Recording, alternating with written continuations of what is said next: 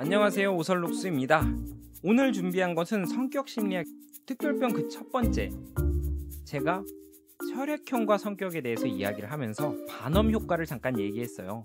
그래서 준비한 오늘의 이야기 반엄 효과와 혈액형 이야기 우리가 못했던 이야기입니다. 여러분들의 혈액형은 어떤가요? 그리고 그 혈액형에 해당하는 성격은 또 어떤가요? 예를 들어서 제가 LBC 방송국에 찾아오는 모든 분들에게 혈액형을 기반으로 해서 성격을 맞춘다고 가정을 해볼게요. 저는 얼마나 맞출 수 있을까요? 음, 만약 제가 반엄 효과와 콜드 리딩을 적절히 사용한다면 아마도 80%의 적중률을 보일 것으로 확신합니다.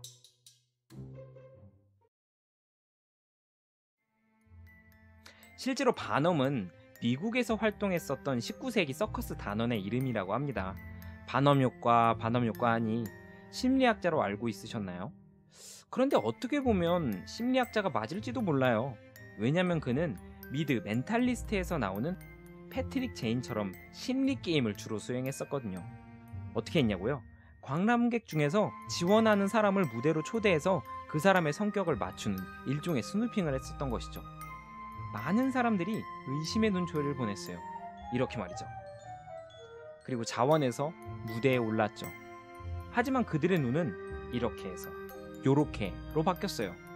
왜냐면 진짜 비범했거든요. 사실 반엄이 한 것은 엄청 대단한 것은 아니었어요.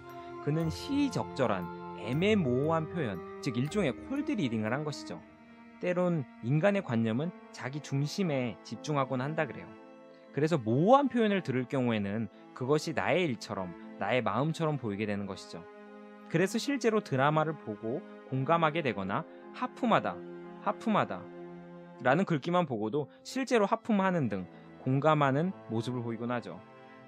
바로 그러한 공감 능력이 자신에 대한 인정으로 나아가서 반엄이 청중을 잘 아는 것처럼 착각하게 만들어 버린 것이죠.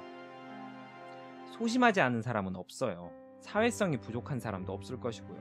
그리고 누구나 때로는 냉정하고 때로는 논리적이고 때로는 합리적이죠. 정도의 차이만 있을 뿐 누구나 조금씩은 가지고 있는 성품인 것이죠. 하지만 반엄 효과만으로 뭔가 설명이 부족하다고요? 음, 그럴 수도 있죠. 사실 이 혈액형 이론은 너무나도 잘 알려져 있어요.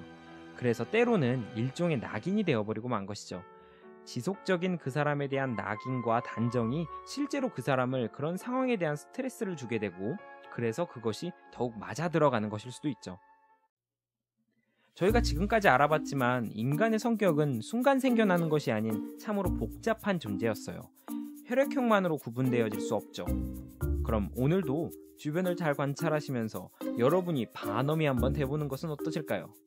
오늘도 많은 성격 유형들을 직접 구경해 보시길 바래요.